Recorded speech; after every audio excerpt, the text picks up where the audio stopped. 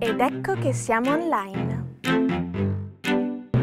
Nella sala giochi di Litwalk le cose vanno molto meglio da quando Ralph ha la sua amica Vanellope. Un guasto al volante di Sugar Rush però minaccia di mandare in pensione il gioco di Vanellope, lasciando senza casa e senza lavoro lei e tutti gli altri corridori. Non resta che tentare di acquistare il volante su eBay, avventurandosi in quell'ignoto universo chiamato Internet. Nel suo aspetto strutturale, questo secondo film ricalca gli step del primo, con tutto il suo appiccicoso e distruttivo bisogno d'affetto, pur non non potendo riprodurne del tutto l'intensità sentimentale. Al suo interno non mancano però episodi scoppiettanti e intelligenti. Tra citazioni e camei che scaldano il cuore, si consuma così il coming of age della coprotagonista femminile, cui Ralph inizialmente si oppone.